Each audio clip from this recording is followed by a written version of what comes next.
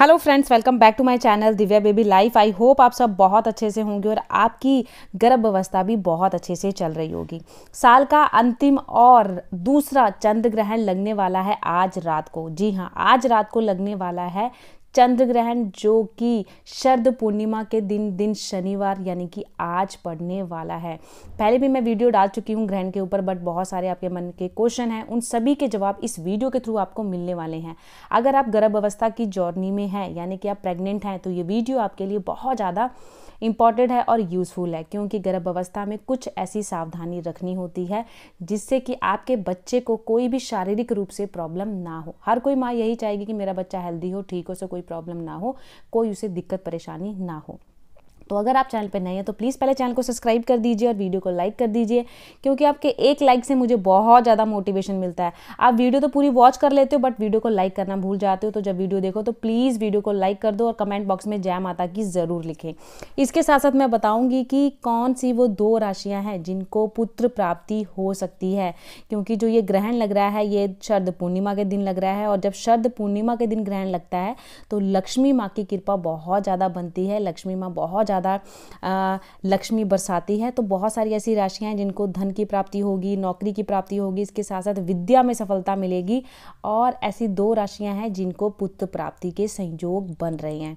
तो वीडियो को पूरा वॉच करिएगा, मैं आगे आपको बताऊँगी कौन सी वो दो राशियाँ हैं। तो पहले बात करते हैं क्या क्या सावधानी रखनी है और चंद्र ग्रहण का टाइम क्या है। तो पहले तो चंद्र ग्रहण का टाइम है, रात में एक बज के पाँच मिनट से ग्रहण स्टार्ट है और दो बज के चौबीस मिनट पर ग्रहण खत्म है।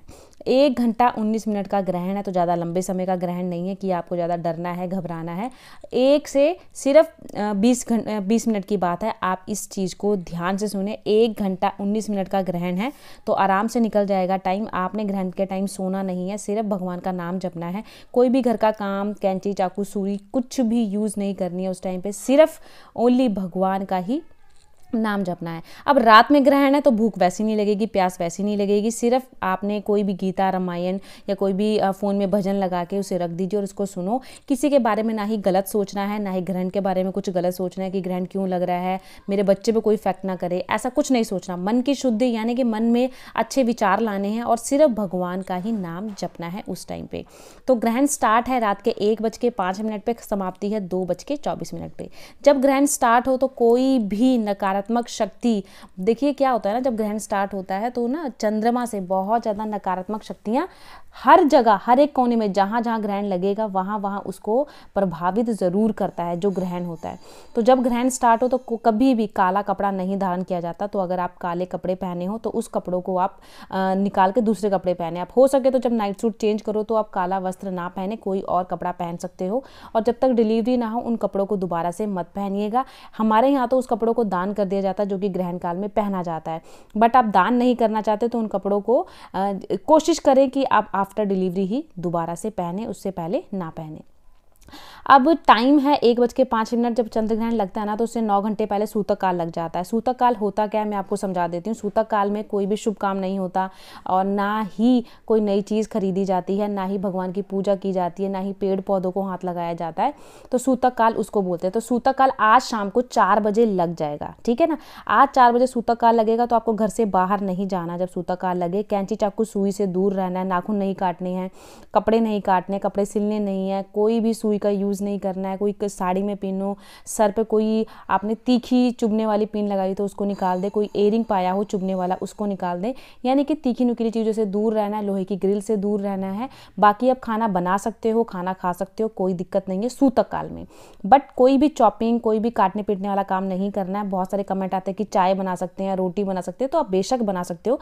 बट कैंची चाकू सुई से सिर्फ़ आपने दूर रहना है। काटने पीटने वाला कोई काम नहीं करना, जैसे सब्ज़ी नहीं काटनी आपने, किसी और से कटवा लो आप सब्ज़ी में तड़का लगा दो सूतक काल में, क्योंकि सूतक काल चार बजे से स्टार्ट है। और हो सके तो जो भी आप खाना बनाओ, जैसे सब्ज़ी, दाल, रोटी, दूध तो आज सबसे पहले मेरी वीडियो अगर अभी देख रहे हो ना तो आप फटाफट तुलसी के पत्ते तोड़ के लाओ। तुलसी के पत्ते अभी तोड़ लीजिए, क्योंकि चार बजे सूतक काल लग जाएगा। सूतक काल में पेड़ पौधों को छुआ नहीं जाता। और चार, सूतक काल, देखिए चार बजे है। सूतक काल से पहले ही दाल सब्ज़ी में तुलसी के पत्ते डाल दो और पानी में भी तुलसी के पत्ते डाल दो। सूतक काल से पहले ये काम करना है और जब रात में आप सो, अपने कमरे में पानी की बोतल रखो, आपको प्यास लगेगी तो पानी पी सकते हो। उस पानी में भी तुलसी का पत्ता सूतक काल से पहले ही डाल दीजिए, क्योंकि सूतक काल के बाद अगर तुलसी का पत्ता डालोगे तो उसका कोई फ़ायदा नहीं है। क्योंकि नकारात्मक शक्तियों का प्रभाव उस खाने पानी में पड़ चुका है तो उससे पहले ही आप ये काम कर दोगे तो कोई प्रॉब्लम नहीं रहेगी, ठीक है? सूतक काल में आप सो भी सकते हो, खाना भी खा सकते हो, पानी भी पी सकते हो, कोई दिक्कत नहीं है। बस बाहर नहीं जाना है, खुले आसमान में आपको नहीं जाना है। जो भी काम करना है, पहले ही कर लो, चार बजे से। नारियल मंगा लो गेरू मंगा लो, वो अभी ही मंगा लो। वीडियो देख रहे हो ना तो तुलसी के पत्ते पहले तोड़ लीजिए और साथ ही साथ मार्केट से नारियल ले आइए और गेरू ले आइए। अब इनका करना क्या है? जब ग्रहण स्टार्ट हो तो अपने पूरे पेट पे उस गेरू को ना गंगा में डिप करके लेप लगा लेना पूरे पेट पर अच्छे से कवर कर लेना है। ताकि जब ग्रहण पड़े तो आपके बच्चे पे उन किरणों की कोई भी नकारात्मक शक्ति ना पड़े।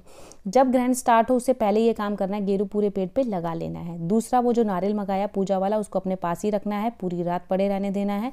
जब ग्रहण खत्म हो तो उसको किसी बहते पानी में छोड़ आना है। तो रात में दो बज के चौबीस मिनट पर ग्रहण खत्म होगा तो वो कहाँ लेके जाओगे नारियल?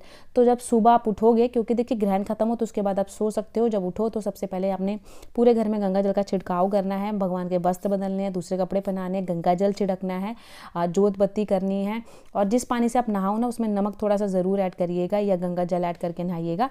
उसके बाद अन्न का दान करना है किचन में। ऐसा नहीं कि पूजा करके खाना फटाफट बनाया, पहले अन्न का दान करो, चावल, चीनी, आटा, जो भी दान करना है, किसी गरीब को दान कर दो और जब दान करने जाओगे वो अन्न तो साथ ही नारियल लेके जाना, उसको बहते पानी में छोड़ देना है, ठीक है? नारियल को बहते पानी में छोड़ देना या किसी पेड़ के नीचे रखाना है, आपके वहाँ पानी ना हो, बहता हुआ तो किसी पेड़ के नीचे छोड़कर आ जाना है। फिर आने के बाद ताज़ा खाना बनाना है और ताज़ा खाने का सेवन करना है। कल का, रात का बचा जो भी खाना हो, उसको बिल्कुल भी नहीं खाना है। समझ गए ना? रात का बचा खाना नहीं खाना है। चाहे आपने इसमें तुलसी का पत्ता ऐड किया हो बट उसका सेवन नहीं करना है। जैसे सब्ज़ी बची हो तो ये नहीं कि उसे गर्म करके खा लिया। आपने इंस्टेंट कोई भी हेल्दी फ़ूड बनाना है और वो खाना है। ठीक है? ग्रहण का बचा हुआ खाना नहीं खाना है, खासकर गर्भवती महिला को कोई भी रोगी हो, यानी किसी को कोई प्रॉब्लम हो तो वो भी ना खाएँ। खाना हो सके तो उतनी ही क्वांटिटी में बनाएँ जितना कि कल ख़त्म हो जाए या आज ख़त्म हो जाए। ठीक है ना? ऐसा ना हो कि खाना बासी आप खा रहे हो। तो समझ गए ना? सूतक हाल में खाना बना भी सकते हो, खा भी सकते हो, कोई दिक्कत नहीं है। बट कैंची चाकू सुई से दूर रहना है इट्स का यूज़ नहीं करना है, लोहे की ग्रिल नहीं छूनी है, ना ही उंगली को ज़्यादा तोड़ना मरोड़ना नेल्स नहीं काटने। तो इस बात का ज़रूर ध्यान रखना है। ठीक है? तो अच्छे से समझा दिया, गर्भवती महिला हैं तो ये बात ध्यान से सुनिए। आज आपने घर से बाहर चार बजे के बाद नहीं जाना है, तुलसी के पत्ते हो सके तो अभी तोड़ के रख लो, मैं तीन चार बार आपको बोल चुकी हूँ ताकि आप भूलो ना। अब दो ऐसी राशियाँ जिनको पुत्र प्राप्ति के बहुत ज़्यादा योग बन रहे हैं। सबसे पहली राशि है धनु राशि। धनु राशि के बहुत ज़्यादा योग बन रहे हैं। पुत्र प्राप्ति के लिए धन की प्राप्ति भी है, बट आपका कुछ वाद विवाद भी हो सकता है। तो ऐसे कुछ भी फैमिली मैटर में या आस पड़ोस में या आपके जहाँ ऑफ़िस हो, वहाँ पर अगर कोई बात होती है तो ज़्यादा गुस्सा नहीं दिखाना है, वरना विवाद बढ़ सकता है। संतान प्राप्ति के बहुत ज़्यादा संजोग है। इसके साथ मकर राशि के भी संतान प्राप्ति के बहुत ज़्यादा योग बन रहे हैं। आपकी आर्थिक स्थिति स्थिति बहुत अच्छी होने के संजोग है और आपको संतान में पुत्र प्राप्ति के बहुत ज़्यादा योग बन रहे हैं। ये जो चंद्र ग्रहण है, लक्ष्मी माता इसमें बहुत ज़्यादा धन बरसाती है। तो अगर जिनको भी आर्थिक कोई प्रॉब्लम है या आप बहुत ज़्यादा जैसे अच्छी इनकम है, बट आपका पैसा बचता नहीं है, पैसा खर्च हो जाता है, कभी दवाई में, कभी किसी काम में। तो आज के दिन आप लक्ष्मी माता की पूजा जब ग्रहण काल खत्म होना, सुबह उठोगे, सुबह उठ के लक्ष्मी माता के आगे दिया जलाना और एक चांदी का सिक्का रखना, उनकी पूजा करना, देखिए माता रानी आपके सब काम बना देगी। तो चैनल पर जब नए हो तो प्लीज़ चैनल को ज़रूर सब्सक्राइब करिएगा। अगर आप चाहते हो कि मेरी आर्थिक स्थिति सही हो जाए तो ये काम ज़रूर करिएगा। जब सुबह उठोगे तो लक्ष्मी माता के आगे दीप ज़रूर जलाइएगा और एक चांदी का सिक्का रख के उसकी पूजा करिएगा। माँ लक्ष्मी आपकी हर एक मुराद पूरी करेगी और आपके बनते बिगड़े काम सभी बन जाएँगे। तो दो राशि मैंने बताई, धनु और मकर, जिन्हें संतान प्राप्ति के बहुत ज़्यादा योग बन रहे हैं, उसमें से मकर राशि को पुत्र प्राप्ति के बहुत ज़्यादा संजोग है। तो आई होप आपको वीडियो अच्छी लगी होगी, चैनल पर नहीं हो तो प्लीज़ सब्सक्राइब द चैनल। मिलती हूँ नई वीडियो में, बी टेक केयर बाय